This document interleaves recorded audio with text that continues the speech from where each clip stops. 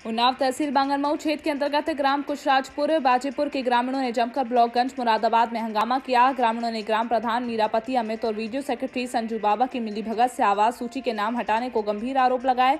पूरा मामला ग्राम कुशराजपुर और बाजीपुर का है जहाँ पर आवास पात्र कई परिवार टूटे फूटे कच्चे मकानों में अपना जीवन यापन कर रहे हैं लेकिन उनको आवास प्राप्त नहीं हुआ। उन्होंने कई बार प्र, ग्राम प्रधान मीरा और वीडियो से आवास संबंध में बातचीत की लेकिन उनका आवास कई बार आवास सूची में नहीं आया।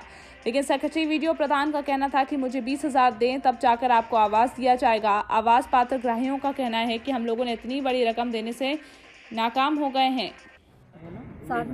क्या दिक्कत आ रही है आपको? अरे भैया कॉलोनी हमारी नहीं आ रही। सबके बीस बीस हज़ार रुपया जमा उसको कॉलोनी दे रहे हैं और हम्म। हमारे कॉलोनी नहीं दे कौन कह रहा है बीस बीस हज़ार रुपये मांग रहा संजय बाबू।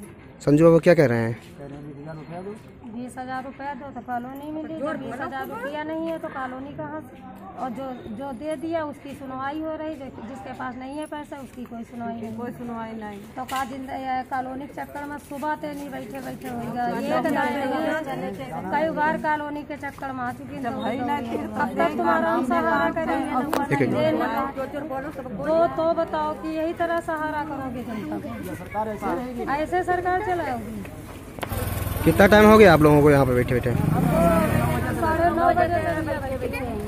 तो कोई सुनवाई हो रही है यहाँ पे कुछ कोई कोई बोल रहा है कि नहीं बोल रहा है?